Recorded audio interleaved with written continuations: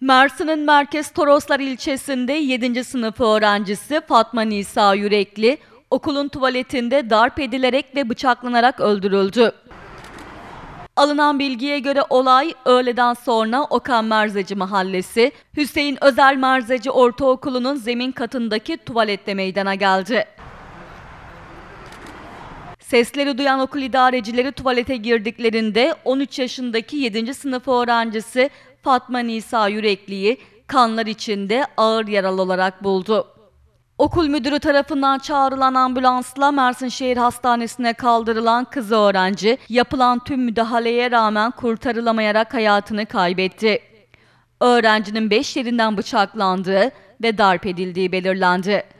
Olaydan sonra okula gelen polis ekipleri inceleme yaptı.